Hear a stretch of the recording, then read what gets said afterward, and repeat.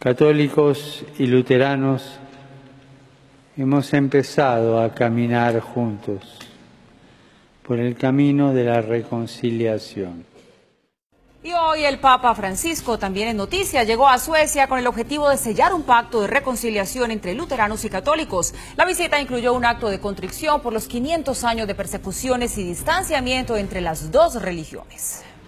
El Papa Francisco ha arribado a Suecia con una misión muy diferente a la de cuidar su pequeño redil de 115 mil católicos que están registrados en las parroquias de este país secular. El jerarca de la Iglesia participa en la celebración de los 500 años de la reforma protestante que emprendió Martín Lutero y pensar que fue un personaje herético cuando cuestionó las indulgencias que pagaban los creyentes por sus pecados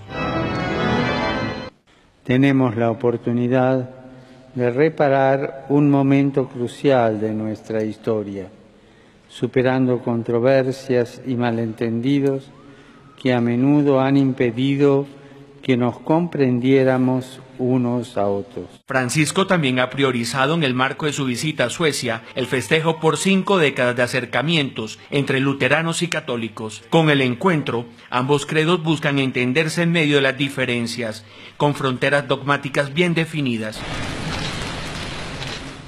Católicos y luteranos hemos empezado a caminar juntos por el camino de la reconciliación.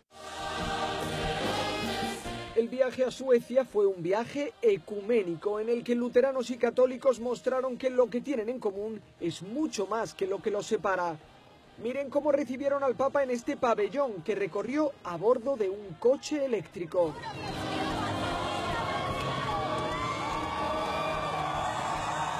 El número dos de la Federación Luterana Mundial resumió así el espíritu de este encuentro entre cristianos.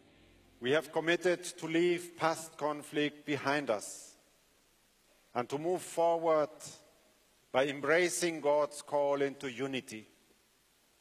We have repented for wrongdoings of the past.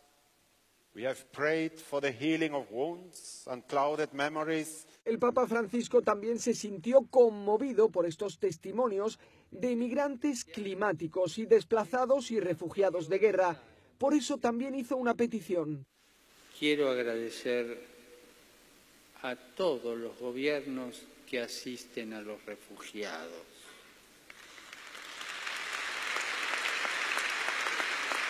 A todos los gobiernos que asisten a los desplazados y a los que solicitan asilo, porque todas las acciones en favor de esas personas que tienen necesidad de protección representan un gran gesto de solidaridad y de reconocimiento de su dignidad. El Papa recordó que luteranos y católicos están llamados a revolucionar el mundo y que pueden hacerlo juntos.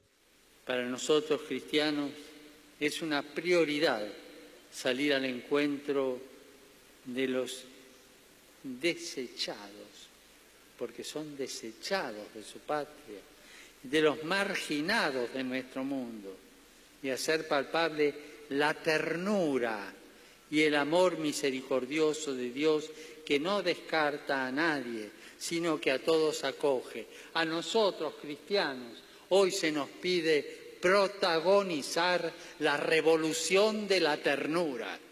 Un paso más de esa revolución y del acercamiento entre católicos y luteranos se materializó en el compromiso que hicieron de asistir juntos a víctimas de guerra, de ayudar ante desastres naturales y de afrontar juntos la pobreza. Con esta firma Caritas Internationalis y el organismo humanitario de la Federación Luterana Mundial sellan su cooperación de ahora en adelante.